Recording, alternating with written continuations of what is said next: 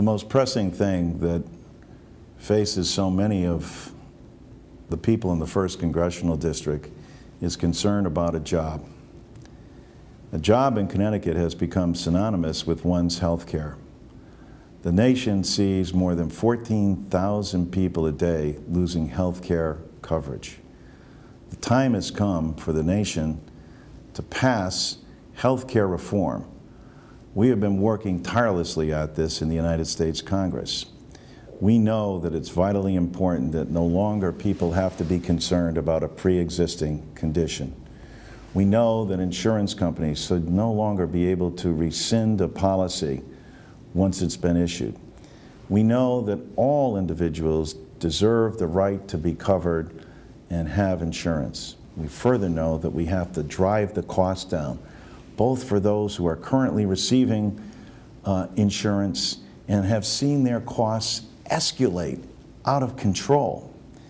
And so the goal in Congress and the goal with this legislative reform is to both help the economy by bending that curve and getting these costs under control, help uh, introducing reforms that will lower your premiums, and yet provide an opportunity, a commonweal argument uh, for the people of this country all to be reassured that they can have coverage that they need. Coverage that both emphasizes well-being and prevention. Coverage that will be capped so your out-of-cost your out-of-cost pocket expenses can never be increased and capped in a way that the costs are capped but the benefits remain strong.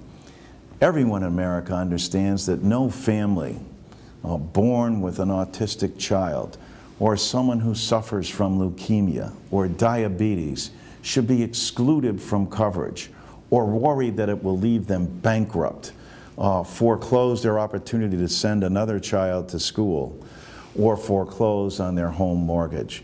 That's what this reform is all about. And I'm proud to say that it's unique in combining the talents of everything that's good about America. The great entrepreneurial efforts of our private sector, combined with the commonweal arguments of making sure that a government of the people, by the people, and for the people takes care of their people in time of illness. This will relieve the great stress that occurs in our hospitals, in the emergency room. This will provide an opportunity to create more primary care doctors and nurses so that we can also make sure that we have health care clinics and centers where we'll be able to send people for prevention in Medicare, reducing uh, once and for all the costs and closing the donut hole for so many people uh, who have experienced that horrid uh, out-of-pocket costs and making sure when it comes to prevention, there's no copay to go in and see your doctor. There's no extra added costs. We want to do the prevention and keep people well. My concern, as always, is to make sure we do the very best for all the people in the 1st Congressional District and across this great state of Connecticut and throughout the entire nation.